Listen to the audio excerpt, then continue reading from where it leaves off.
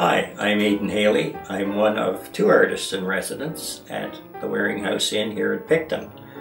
Um, I've been painting for the better part of 40 years and my painting is generally landscapes but not exclusively landscapes and I paint in the inn during the weekends and possibly some other days. I'm not exactly sure when those will be but I, but I do have a studio here right off of Loyalist Parkway opposite Hagerman's in the old Dairy Dip.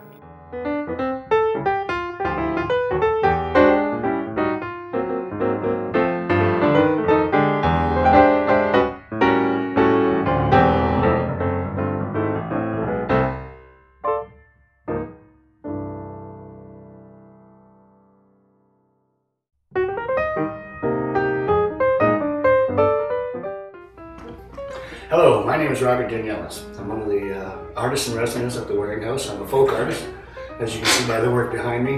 My gallery is adjacent to the uh, reception area when you come into the uh, complex. I'm open almost all year long. My work has been called humorous and traditional, and uh, please drop in and see us when you uh, when you come to the Waring House.